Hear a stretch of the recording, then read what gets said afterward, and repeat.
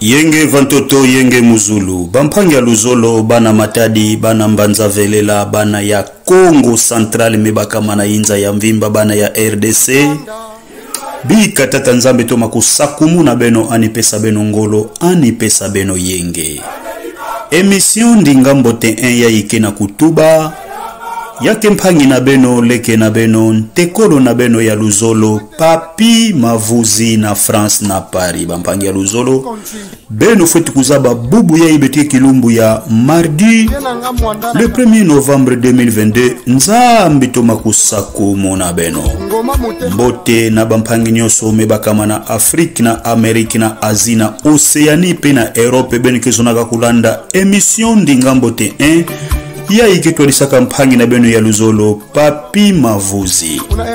mbote na bamphangi nyonso mibakama kuna na rdc na bandundu na kinsasa na congo central ntoto yangani ya profete simo kimbangu mpe ntoto yangani ya president kasavubu mpe ya filipi mbumba bamphangi ya luzolo na manianga mbote na bamphangi nyonso mibakama na matadi komi na matadi komi na mbuzi komi na nzanza ebosi bino bakama na ba fleve nyonso bampangi ya luzolo na boma na mwanda na tyela mbanga na mayombe nyonso bampangi ya luzolo nzambe toma kosakomona beno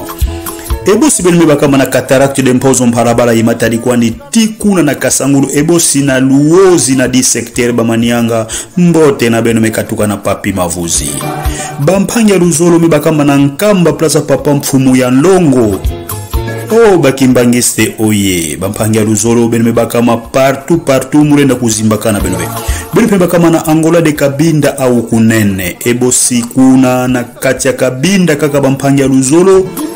na bairo nsusu siata murenda kuzimba kana beno ve na luwanda na wizi bosi na profesa zai na mbanza congo beno mbe bakama kuna na lunda na kamfumfu e bosi mbe bakama na congo brazaville na pointe no na gabon na libreville bosi na afrique du sud nzambe to makutu adisa beno baphangela uzolo betu bekuma na ntango betebulaka disolo na beto kasi avant betobula disolo ya ntete mokende kosuete joyeux anniversaire na joela olstar ntoto mwanangani ya papa yo bamichel na kati ya paris que du bonheur santé et longévité mpe mokende kopesa tete mbote na journaliste d'investigation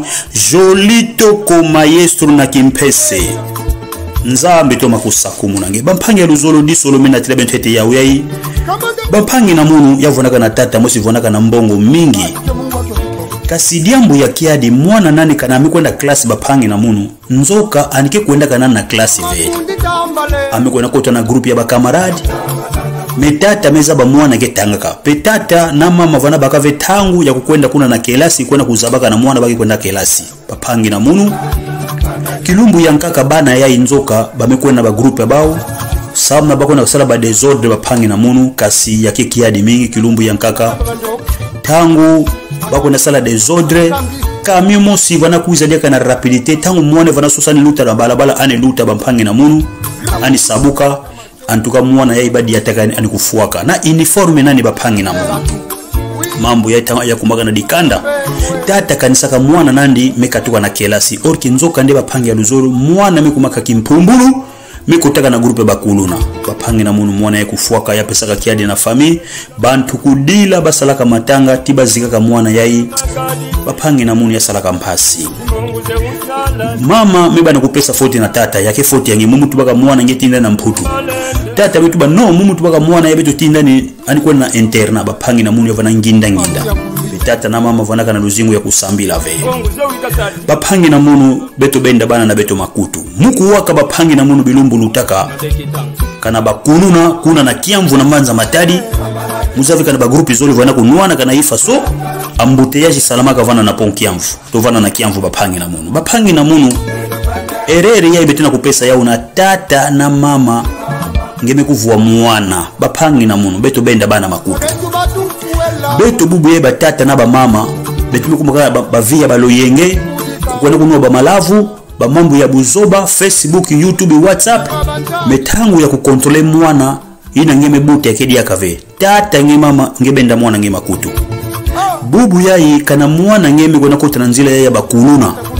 nge tata nge mama ngeke na mwana yao normal ani kwenda kunwana yamo ma edingwe kana mtu angolo me kilumbu bake vonda mwana nge na luyalu mambo ya kudila ya, ya vonda ve yawu ndenge namona bubu ya ye meme na prison kuna centrale ya mbanzama tali bamiyibi mingi masa tina kana bao okende wana kosala bareseau drain nani mezaba beno population bato plai beno feti kodenoseke bao bekenda kulunda bantu yaye apangi na munu ntoto anga na simo kimbangu yafuti vwana na, na, na ngemba bubu yaye beno beno tala son excellence docteur guy bandundungidi moïse ya congo central na dibanza ya mbote anekena yao bapangi na munu amenu wani na bana samba bambaka buku sidetidi bapangi na munu esi eh, yake mbote ve eh? wana kila sifoi kutanga beno tela fasuba kina kunwa na nkangu kintwadi na vice guvernere eh, ito na beto eh, papa grasi bilolo bapangi na munu beto longa bana na beto nge tata na mama ngekena kubika mwana ngekwena kota na grupa bakununa na ntango bamambo ya ye na, na matadi to na congo central bamambo ya kikulu na ye avwandaka ve nge mutu ngele katuka nge aire nyonso nayinzwa nge ngeme kuma meme bamenu nge na kotambola ngenge mona dia mbongo si ve me bubu ya ye bampeve eza lokolo mono mavanga mampipita ya mikuma mingi sala na nge mutu nge bimata na kokila nge kwenda kosuba na nganda yake probleme beto na ntambo vandaka nge namona nge mibiba nge na nganda na pipa nge mona kosuba nge mevutuka me bubu ya sama nge mutu nge bima na nganda meso kualulu kualulu paske nge eza bave position nini bantu ile bakele bapangi na munu ya kembo tv beno bafamille beno benda bana beno makutu babika mambo ya kikuluna kusalaka badesordre aliya kreake baambuteyage ba, ba beno batata beno bamambo beno mono ya mbote luyalu bakesakanaka na luyalu ve kilumbula polisi ketula bana beno maboko bosi bino kona kusosa kusala baintervention ba, ba kakembo tv mfumu ya kizunga ya congo central mfumu na beto dr gi bandundungidi aniki na bamabanza mbote andiki na baproje ya mbote mibeto bantu buza bave bantu kana bake na bangindu ya kibulu moke na kubakusa ve nanga kibulu kutu ntango kaka anlevwa na mbote me bantu zo na kuwave samu na nini bapangi na munu nkanda beto ya ndombe bapangi na munu muza bave muza bave combien de fois bete longila baeglize ke vana bamabundu bene zo nakona kusambila ve me kuenda kususaka baminkisi kuvuateka bansinga na luketu kukonde kuzengisa baminkisi sambi besalaka desordre ntangi na munu ngeke mutu ya ngolo 20 mutu ya ngolo yake luyalu papa mama benda bana na nge makutu baza banzela ya nzambi baza banzela ya kelasi kilumbu ya nkaka luyalu kekufua mwana nge to bakekanga yande bakezengela bilumbu kuna na prison kokanisa ve abetidi ya lokola bametina na prison bemekanisa ye yake kuma abetidi non mpe tosala keba kilumbaka loya lolela moko amekanga bana nange ah, bake kotela eh, prison vana na matadi ve bake tinda bao na babwala ya kaka bake kona kosufriri kuna apres nge tata nge mama nge bana kudila bapangi na mundu betopesa sana malongi samu na nini mavanga ya faso yai benu meza bababana benu kesalaki pungulu bena kulunda bao samu na nini bango kona koyiba mbongo ale bamama ina ya mapa bango kona kuviole bana ngani bango nasala yimbi kuna bana telelo mbongo kima kudia bena kudia vana kidia mbukele ve benu kidi usumbulaka baserkei kilumbu kele ukunanga muntu kana yonzika tata nzambe ankepesaka ntangwa ntango ya wenge tata nge mama benda mwana nge makutu mwana muno bika nzila yeye yayimbi yakona kuyibaka bika mambo yakona kubima kikununa kilumba kaka luyalu kitula maboko mwana nge anike zimbana tata mama mukena kutubila nge mambo yakedika mpheve ya ndongo kana misonga diambu ntango yawe yabenda mwana nge makutu bazaba nzila ya nzambe yakembo tv kukwenda kuyibaka bimangani ngemiza bantu nakenda kusosa mbongo bana mpasi na, na, na, na, na kiufuta ale benu mimi bato ngolo nzambe kesambisa benu kilumbu ya nsuka responsabilité yake ya tata yake ya mama yake yake tete ya luyalo ve tata nge mama fo baka ba précaution kulonga bana nange bika nzambe pesa ngolo pesa yenge na nyonso bitimi kuwa nanga nge tata nge mama nge mikuwa nge kilonga mwana nange na nkokila bube to tango mambo yake kumi nange beto sala keba buntu ya ngolo na nto tuyaki leta leta bakesakanaka na leta ve bantu yuko be tozala baka bato ya ngolo bubu ya wapi bao nge tata benda mwana nge makutwa okunanga eh? mutuka na yo nzika mai yangi mena ko bavelele mu mintima kadi baosiba mo na nzambe bampangi ya lozolo muke na koprofite kopesa mbote na son excellence dr gibando ndungidi na son excellence papa grace bilolo na mbanza matali nzambe to makusakumu na beno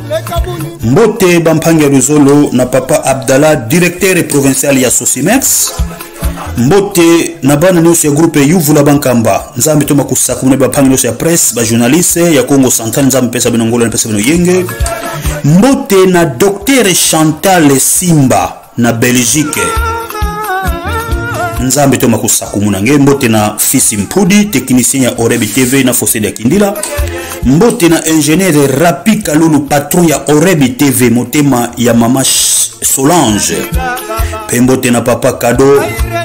kuvwa mambu na rotterdam mbote na mpangi karine la bomba moboko pembe likambo na moto te mbote na président dodoli ya bana matadi kuna na hollande mbote na président emi gunsolani ya mamamesiki keba na bruxelles na président jacques maye kodiando mbote na ambassadeur luzombe na rotterdam mbote na papa alain tendai dg ya dgrade dg ya dgd ya s'il vous plaît dg ya dgd ya ya ex ofida mpe moko nakopesa mbote na pdg ya sodimase papa robert niondo kisalu ya mbote papa mbote na honorable toma mundele mbote na mfumu eto paul muntu mpe mbote na yani mosi leblanc congo mfumu ntoto na bampangi nyonso ya makuku matatu mbote bampangi ya luzolo na conseiller dani bavwidi mbote na conseiller flori mbadu mbote bampangi ya luzolo na papa titi espoir nkwangila lele le grand chef coutumier papa titi espoir nzambe toma kosakumu na nge mpe mbote na président bodis na matadi mbote na papa justin mavungu président ya bana tiela na mbanza matadi nzambe toma kosakumu na beno vantoto mbangi mozulu mbangi mbote na coordinatrice ida nsasa dududie aristide mavuzi efrazi nsango mariana luanda na capitaine irene mavuzi mbote na bana nyonso ya groupe ndinga mbote 1 mpe mbote na bapangi ya luzolo na ingénieur ruben mandala rishi muni fois supérieure na luanda mpe mbote na couple yuyu sims na paris emission ndingambo te eyameka tokutubaki epangi na beno leki na beno ntekolo na beno ya luzolo papi mavuzi na france na paris kana nzambe kezona betuki komona na baemission kaka baibai